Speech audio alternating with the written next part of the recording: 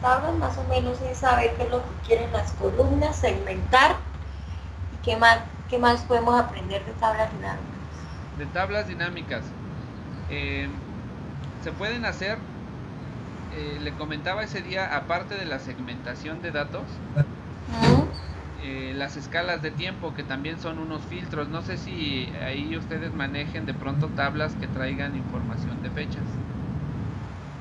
Pues ahí lo único sería que de pronto añadirle la misma fecha cuando se genera el informe, ¿no? Ajá, podría ser. De cuándo se generó el informe y, agruparlas. Voy a abrir una base de datos que tengo yo por acá para mostrarle el ejemplo. Sí.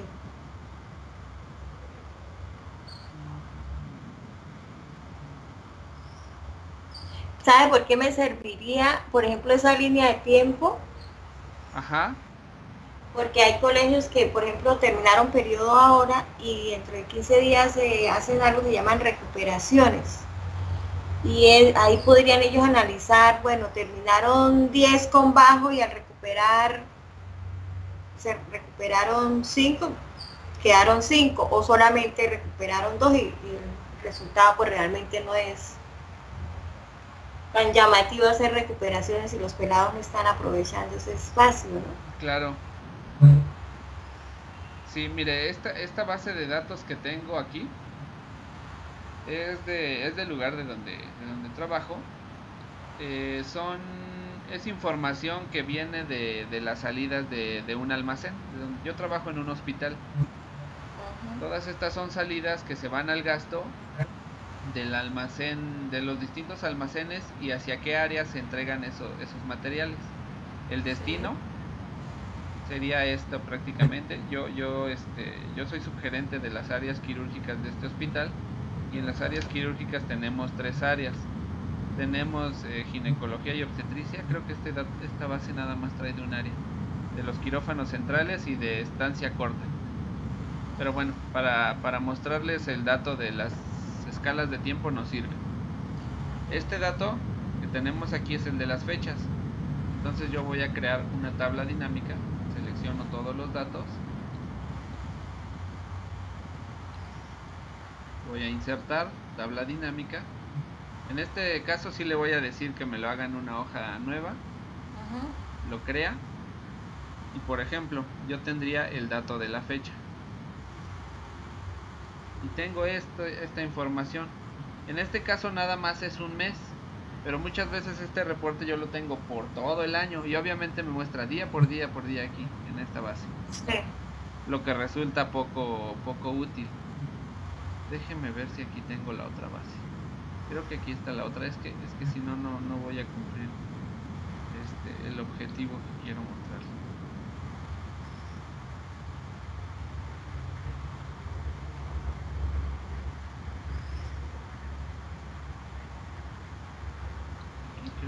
Tengo las tres, cuatro áreas de hecho son. Sí, aquí sí tengo todo 2015. Voy a hacerlo nuevamente.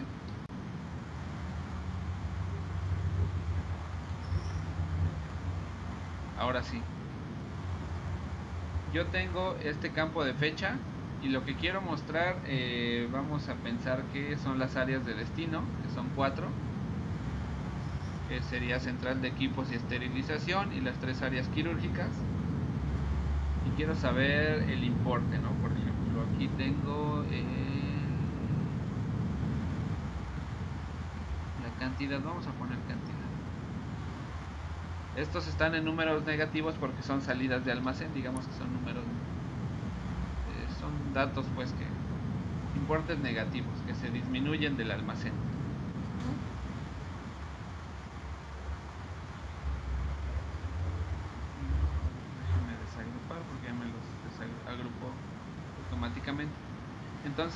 Si yo hiciera un reporte con esas fechas, pues yo tendría los 365 días aquí en el reporte y, se vuelve algo totalmente ilegible, ¿no? Estar desplazándose día por día, solo en el caso de que si me lo pidieran, pero ya no se vuelve algo útil. Entonces, ¿qué es lo que hace mucha gente? Lo que hace mucha gente es decir, ah, bueno, a mi base de datos ya tengo la fecha, le voy a agregar una columna para poderlos agrupar y empiezan a hacer lo siguiente. Filtran todo enero y a todo esto le llaman Enero. enero. Y órale, ¿no? Se, se llena la columna. Y posteriormente así en cada uno de los meses. Vamos a ver, febrero.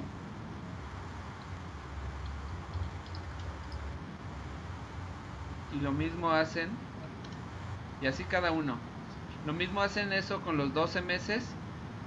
Y si tuvieran información de, de distintos años, pues en este caso agarran y ponen esto, 2015.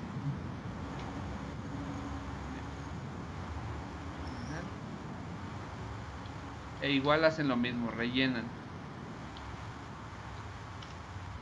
Entonces ya aquí, aquí que hicimos, si tenemos información de muchos años, al agregar más columnas, vamos a hacer que el archivo se haga más grande, que el archivo se haga más lento y que la información nos, nos llenemos de muchos datos que, son, que no son necesarios. Ajá. Al usar estas segmentaciones de, de perdona, estas escalas de tiempo, nos podemos evitar toda- todas estas agrupaciones de conceptos que yo pudiese hacer. Entonces, ¿qué es lo que hago? Cuando tengo mi tabla dinámica, yo voy a hacer lo siguiente. Voy a hacer clic derecho en las fechas y voy a ir a la opción de agrupar. Cuando yo doy clic en agrupar, me va a aparecer un cuadro. Aquí es bien importante que todos los datos sean fechas. Si por ahí encontramos un dato que es texto, ya no me va a aparecer este, este cuadro. Entonces ahí es bien importante que absolutamente todos los datos estén configurados como fechas. Y ya yo aquí voy a, a decirle cómo quiero que me agrupe la información. Si por días, por meses, por trimestres, por años. Yo en este caso únicamente tengo el año de 2015 en esta base de datos. Por años pues no me serviría mucho. Pero sí me serviría por meses. Si yo le selecciono meses, voy a ponerle aceptar y ya estoy agrupando los datos por cada uno de los meses, sin agregar una columna de meses, sin agregar información adicional. ¿De acuerdo? Lo mismo puedo hacer si me dicen, no, no, no, pero es que no lo quiero por meses, necesito resultados por trimestre. O por trimestre, pero desglosado por mes. ¿Ok? Entonces ya tengo el trimestre y este y ya lo tengo por cada uno de los meses. El trimestre 2, que es abril, mayo, junio, el trimestre 3, que es julio, agosto, septiembre, y así hasta llegar a diciembre. Y tenemos los resultados. Lo que me preguntaba hace ratito en la base de datos, ¿qué es lo que sucede con la configuración en, los datos cuando uno crea una tabla dinámica? Cuando uno está creando una tabla dinámica y uno actualiza, si por ejemplo yo, déjeme ver que no tenga la opción activada, yo digo, ah, mi tabla dinámica, eh, los nombres llegan hasta aquí y, y el ancho de esta columna quiero que sea este. Y llega el siguiente mes, agrego la información acá abajo y le doy a actualizar. Y otra vez me quita todo el ancho de columnas que yo ya había establecido y hay que Sí. estar ac- acomodando nuevamente. Yo conozco usuarios que no usan tablas dinámicas por ese simple hecho. Es que no puedo ponerlo como reporte porque cada que actualizo se, se cambia el formato o el ancho de las columnas. Entonces otra vez le damos a actualizar y vuelve a pasar lo mismo. Para que eso no pase, tenemos opciones para que los datos se acomoden de manera fácil. Voy a, ir- voy a hacer clic derecho en cualquier parte de la tabla dinámica. Voy a opciones de tabla dinámica. Y aquí vamos a, vamos a quitar la tilde a esta opción que dice autoajustar anchos de columna al actualizar. Se lo quito y vamos a hacer clic en aceptar. Entonces le doy a actualizar y ya no se va a mover. Si yo establezco que esto sea así chiquito y esto aquí también, le doy a actualizar y me va a respetar el formato que yo tenga. Eso me va a permitir que cuando yo haga ya mis cuadros de mando con mis segmentaciones de datos, yo pueda acomodar exactamente mi- mis conceptos sin que estos se, se modifiquen. Por ejemplo, si este espacio yo establecí que quede exactamente aquí, cuando actualice yo la tabla dinámica no hay problema de que mis columnas se hagan anchas. Porque si no lo tuviera, por ejemplo, vamos a ponérselo de nuevo, si yo hago esto, pues se va a volver a hacer así. Y entonces el siguiente mes yo ya acomodé esto aquí y, lo actualizo. Y otra vez.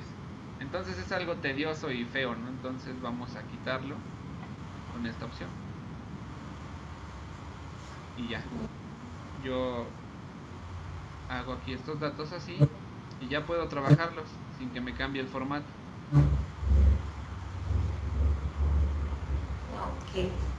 Entonces vamos a regresar a la otra base de datos. Ya agrupamos entonces los datos por, por cada uno de los trimestres. Vamos a dejarlo ahorita en meses. Son importes. ¿Y qué es lo que, que nos va a permitir hacer la, la tabla dinámica? Voy a quitar la fecha de aquí voy a poner el destino que son las áreas lo voy a colocar así yo aquí tengo una información sencilla sobre qué cuánto qué importe se hizo de salidas de materiales hacia cada uno de estos de cada una de estas áreas y en lugar de, de ponerle el filtro por las fechas porque si yo pongo el filtro con el campo fecha vamos a ver qué es lo que sucede Principalmente esto pasa en las tablas dinámicas. Yo aquí podría hacerlo este, porque está agrupada la fecha, ya me lo da en meses. Sin embargo, si yo quiero usar, digamos, por así decirlo, segmentación de datos en fecha, no va a ser mediante un campo de estos, sino va a ser mediante una escala de tiempo. Como es una escala de tiempo, Excel detecta nada más los campos que corresponden o que tienen formatos de fecha. Ya no va a detectar como la segmentación de datos todos los campos de la tabla. Hacemos clic aquí y me va a mostrar como una línea del tiempo con cada uno de los de los conceptos que yo puedo seleccionar. Como solamente tengo 2015 me va a mostrar hasta aquí. Ah, no tengo 2016 también. Creo que no. No, no hay. Solo es 2015. Entonces yo trabajaría hasta acá. Si yo quiero ver la información de todo el año, lo puedo ver aquí. Si quiero ver de enero, y ya voy clicando en cada una de las líneas. Febrero, marzo, abril. Si vemos cómo cambian los datos. Esta es otra segmentación de datos, pero especial para fechas. Y aquí arriba yo puedo también seleccionar cómo lo quiero ver. A lo mejor no quiero ver por meses, sino por trimestres. Ah, entonces ya me va a mostrar algo distinto. Me va a mostrar los trimestres. Primer trimestre de 2015. Prácticamente como los filtros, pero más bonito. Ajá. E igualmente le puedo dar aquí un formato, ¿no? Yo lo puedo tener de esta manera o, aquí ya el diseño que yo quiero. Y darle, darle el tamaño y todo ya aquí ir mostrando resultados sin que esté creando yo, por ejemplo, si me pidieran del trimestre 1, 2, 3 y 4, puedo mostrar todos los panoramas sin que tenga que crear cuatro tablas.